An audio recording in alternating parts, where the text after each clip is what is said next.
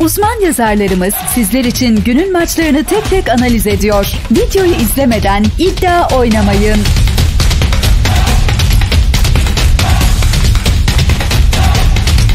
Kahramanmaraş Spor'un geçmiş maç sonuçlarına bakılırsa skora yansıtmakta ciddi sıkıntılar yaşadığı görülüyor. Uzun bir süre boyunca hiç gol atamadıkları görülüyor, bu da hücum hattında sorunlar olduğunu gösteriyor. Diğer taraftan, Nevşehir Belediyespor'un performansı daha dengeli ve istikrarlı görünüyor. Geçmiş maçlarında hem gol yeme, hem de gol atma konusunda daha başarılı oldukları söylenebilir.